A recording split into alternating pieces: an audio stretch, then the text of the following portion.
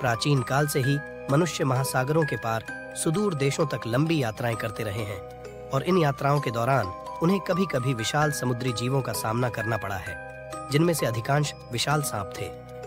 यह घटना 6 अगस्त 1848 को घटी, जब रॉयल नेवी का एक शिप दक्षिण अटलांटिक महासागर में सेंट हेलेना की ओर जा रहा था।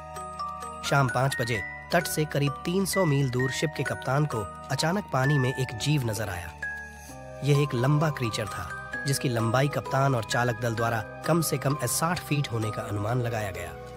वह एक विशाल सांप की तरह लग रहा था, जिसका सिर पानी से लगभग चार फीट ऊपर था। कैप्टन के मुताबिक, उस जीव की त्वचा गहरे भूरे रंग की और गर्दन के पास पीले सफ़ेद रंग की थी। यह लगभग 20 मिनट तक उनके जहाज़ के समानांतर तैरता रहा और इसकी तैरने की गति बहुत तेज थी।